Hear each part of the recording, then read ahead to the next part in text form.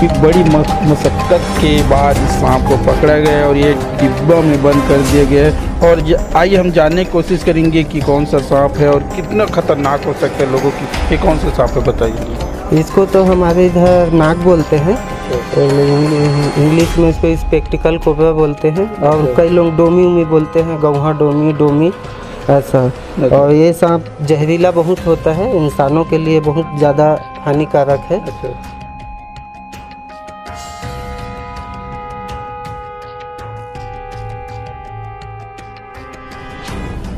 अन्यथा सिम्टम आता है बहुत सारा चीज़ कि सांस में तकलीफ़ और पर पेट में मरोड़न और आँख वाँख में लानिमा ऐसा।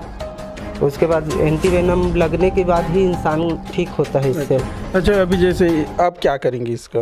इसको ले जाके अब अपना पधा खर जंगल है जहाँ पे लोगों का आना जाना नहीं है वहीं इसको रिलीज़ कर देंगे।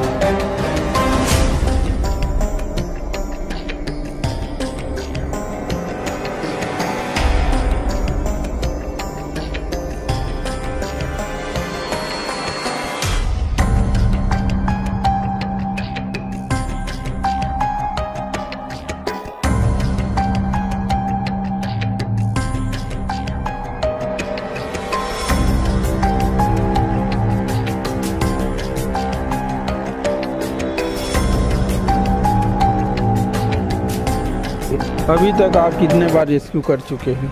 अब गिनती में तो नहीं है लेकिन बहुत सारे मतलब रेस्क्यू कर चुके हैं हम लोग। अच्छा। हाँ। तो जैसे अभी ये रेस्क्यू के दौरान आपके सांप मिला है और तो आप इसके लिए अच्छा चार्ज करते कि निःशुल्क आते? क्या है आपका?